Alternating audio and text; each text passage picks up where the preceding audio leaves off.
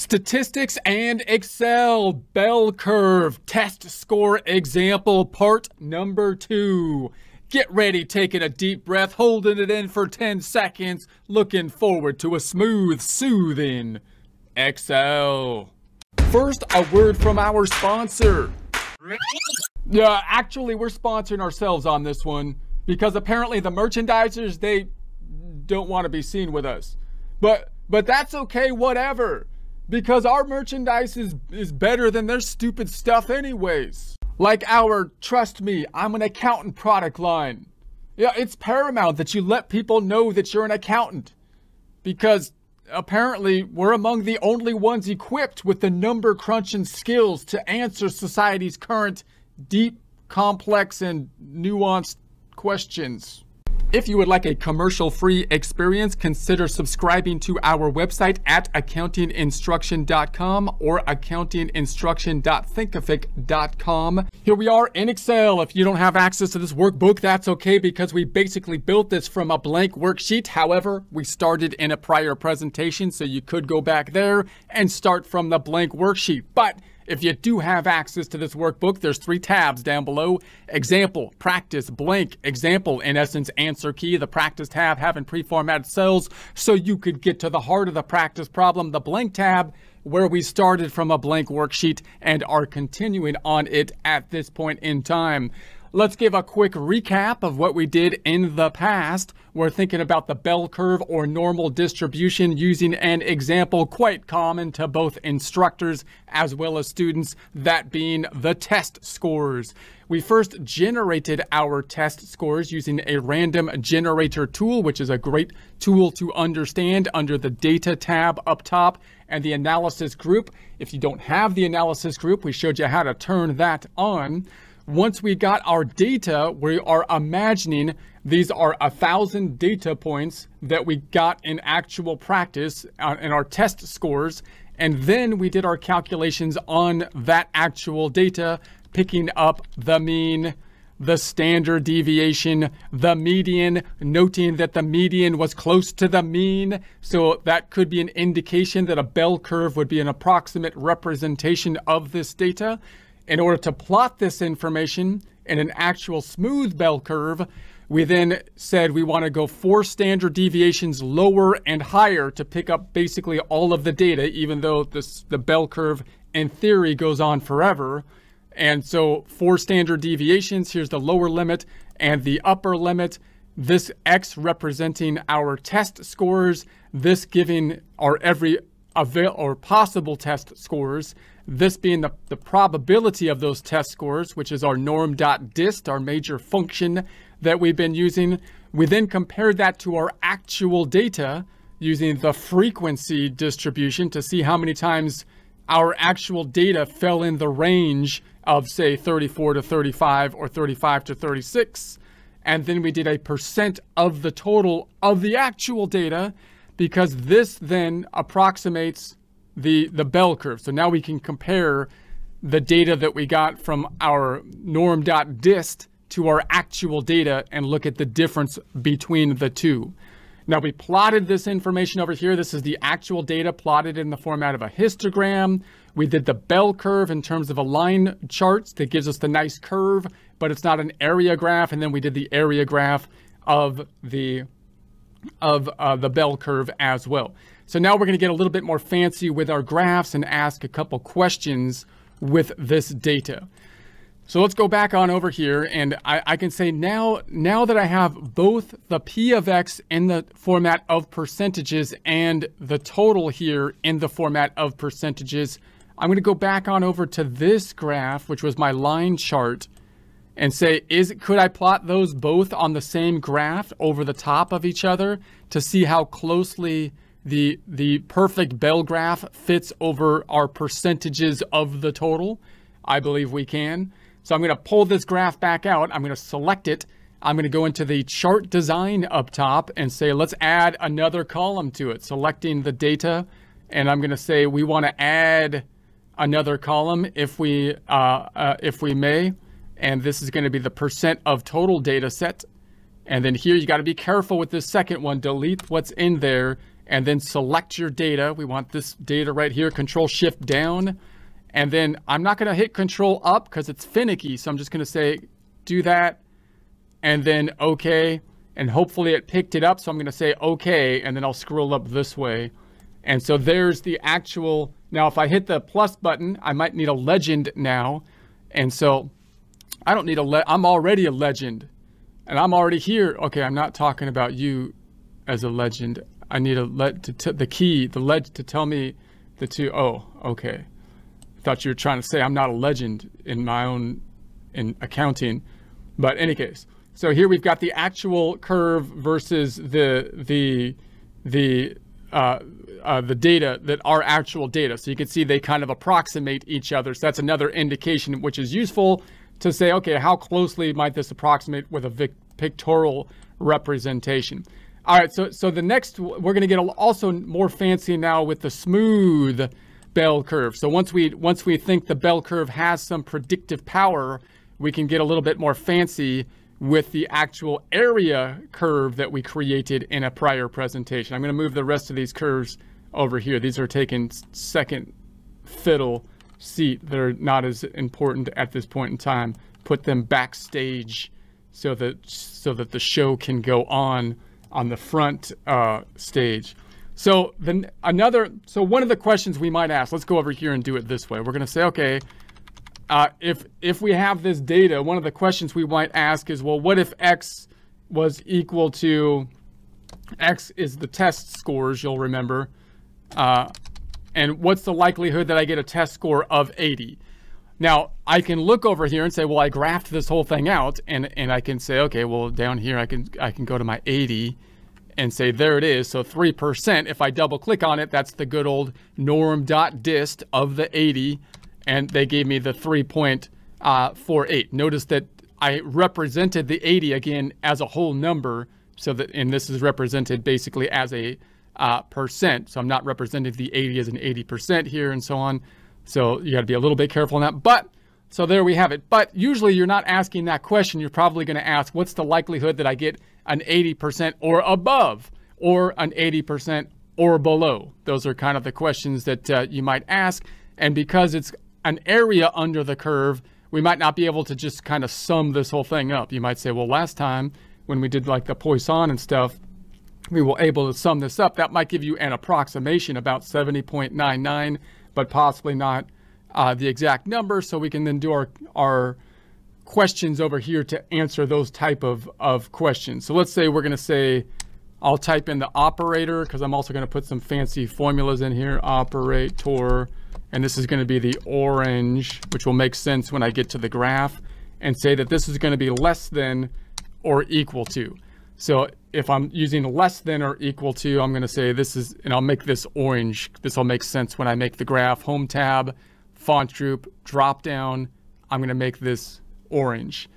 And then I'm going to say, okay, so so now my question is P, I can represent it this way, is equal to X is less than or equal to uh, equal to 80.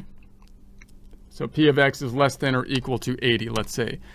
So now if I want to change these titles, it could be useful to do that. It gets a little confusing, but once you do it a few times, you can make this title dynamic. Changing the 80, for example, to tie into this 80. So to do that, I'm going to double click on it. I'm going to go to the front of it, hit equals to make it a formula. I need to put quotes around anything that is text. So I'm going to put a quote and then I was going to put uh, this cell to put the operator in, but I'm just going to leave all of this all the way past the equal as just text. So I'll keep that as just text. And then that 80, I want to play, I want to replace it with this cell. That's the dynamic part. To do that though, I need to tie it together with an AND. So the AND is not an AND function, it's just tying together the text. I'm going to select that 80 and then and replace it with this, which is G10. And then I need another and to tie it to the next text, which is just that closing of the brackets, quote here, and a quote after the brackets. Now that's tedious to do, but once you do it, it's pretty neat because now you can create these titles that are dynamic. So now I can do this my same norm.dist, but make it cumulative to get to get this calculation. So this is going to be, and we'll see this on the graph as well, because the graph is quite useful, but it's a little bit tricky to understand how to set up a graph in Excel so it so it does this automatically, which is great to do for those of us that aren't good with handwritten graphs, right? So it's so if, if you can figure this out in Excel for us non-artistic people that can't barely draw a straight line, this is a good uh, good tool uh, to pick up. So we're going to say this is going to be equal to norm.dist tab. The x is now going to be this 80 the mean, comma, same thing we did before, is that mean 74.92, comma. The standard deviation is now going to be this 10.09. And then comma, now it needs to be cumulative, which is going to take the area under the graph, right, under the line, up to 80. And so now we want it to be 1 or true. True, you can type in true. 1 is easier to type, so I'll put a 1. And then I'm going to percentify that, home tab, number group, percentify add some decimals, comes out to the 6926. Uh, and uh, you'll recall that that's different than if I went down to this 80 down here. And I'm saying there's the 80, there's the likelihood that I get uh, 80, here's 80, 80 exactly. And then if I was to add all this up, this would be 70.99, which is close to the 69.26, but not exact due to the, the nature that we have a, a, a curve uh, kind of situation here. So remember, this 80 represents the score, which would be in percents. Uh, you know, you would think of an 80% that we get an 80 on it, which we're representing as a whole number.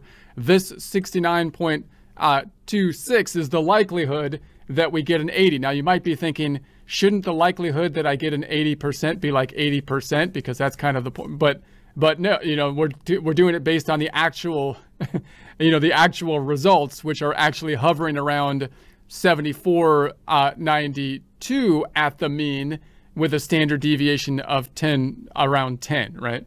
So that, so once you have that, you, you can also get into the, the Z. Now the Z is a representation of uh, the number that's in relation to the midpoint, the the the the mean, right? So we're trying to represent the number in terms of standard deviations.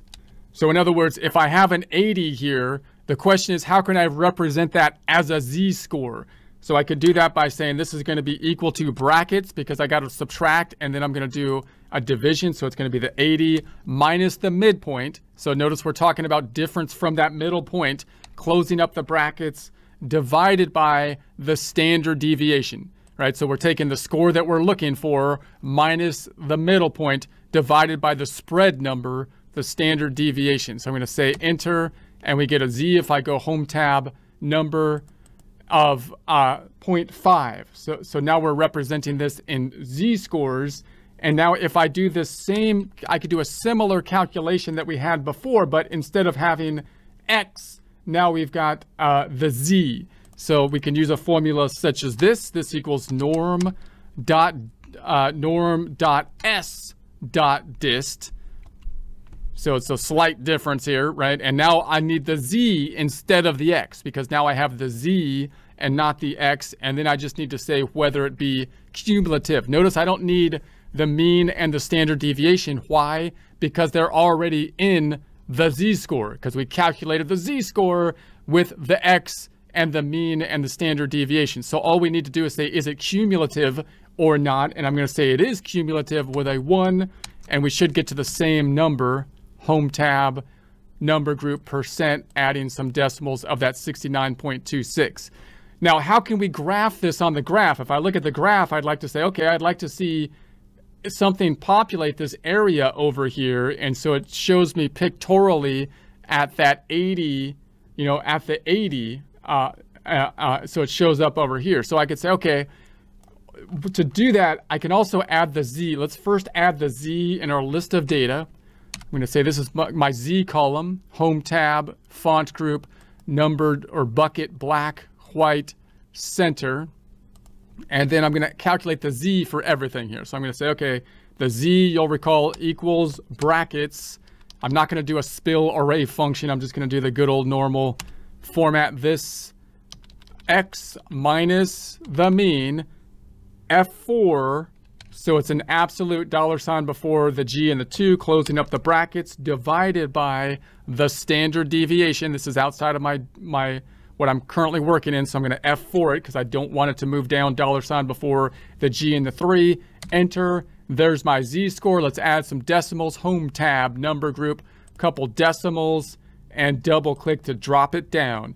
So this is the Z-score that's representing below the mean, right? And when it gets to zero, that means that means it's going to be around that 74%, right? So because that means we're at that middle point for the z-score, and then this is representing in terms of in essence standard deviations above the uh, standard above that uh, mean point, right? All right, so there's our z, and then if I'm trying to graph this, then I can say, okay, what if I try to put another graph on top here that represents my data? Uh, up to this point, less than or equal to up to that 80. So I could say, all right, let me see if I can get a graph that's gonna that's gonna be equal to, in essence, this argument. And so uh, now it's dynamic in that I can change that 80 again, and I can go to the Home tab, Font Group, Percent, and uh, White, and let's center it as well. Okay, so now I can say, all right, uh, let's see if we can use like an if function to to pick up our data here. So I'm, what I'm going to do is I'm going to say, I want you to put something here uh, if this number is uh, less than or equal to 80. And if not, I don't want you to put anything here. So it'll just be blank. And then I can graph that on top of this graph and it will give me, it'll give me that, that another line, which will which will be nice visual. So I'm going to say equals if, this is our if logical test. I'm just going to say, all right, I want you to say if this number is less than or equal to, uh, less than or equal to this number, then that's a comma. So now we're going to the next argument. What do you want to do if it's true? If it's true, then I want you to pick up the uh, P of X number. But if it's not, which is a comma, I want you to just put a blank, I want you to leave it blank, which is just double quotes because it's, it's nothing in it. So that's our text field with nothing in the middle. So that's our argument. So I'm going to say, okay, and uh, it comes out to zero here because it's less than this. It's a percent. Let's percentify the cell, home tab, number, percentify, add a couple decimals and then I'm going to double click the fill handle and copy and it copies it down. Now hold on, I can see something went horribly, horribly wrong here. Let's double click on it. What went wrong? Notice that this cell is, it got copied down, see? So, so I'm gonna absolute reference that one. I'm gonna go into that one. I'm gonna say, okay, that's G10 right there. F4, dollar sign before the G and the 10. That sticks this one solid. So when I then double click on the fill handle again, then it copies it down. So now if I go down, it'll copy it down to here, and then everything over 80, there's nothing in it. So now what I can do is I can say, okay, now I'm gonna go to my graph, and I'm gonna pick up this column, and that will give me that, uh, a, a different color that will give me that, that distinction. So let's go to the charts up top, and then I'm gonna go to the data, and I'm going to say, let's select the data and say, I'm going to add another data set and I'm going to call the name of it this right here. So I'm just going to say that's the name. And then remember, be careful with this bottom part, delete it, make sure you're picking up the right data, control shift down, and it picks up all this data, even though there's blank cells down here. Okay, I'll break it all the way to the bottom because of course they won't be blank if you, it's a dynamic thing if you change it okay, and then we're gonna say okay, and then boom. So now you've got now you've got your graph that gives you around the 80, and you can see this the the blue line, which which is nice to see pictorially. So we're going from uh, orange, we want less than 80, so the orange is what we're looking at, everything less than uh, or equal to 80. And then of course you might want a legend now. The legend. I don't need a legend because I am, I am the legend. Okay, okay, calm down, calm down. So in any case, so we have that. Now, that's the, now, now, this gets a little bit tricky because you also might be asking questions like, well, what if it's, what if it's greater than or equal to? Well, that's kind of the inverse. So this graph kind of shows the inverse as well. So you can kind of use the same graph or you can put up different graphs to give you this middle point. And we could also get more fancy with this graph, adding the z to it, give it giving us uh, uh, the standard deviations down below, which is pretty neat as well. So we'll dive into that in more depth, continuing to work on this in future presentations.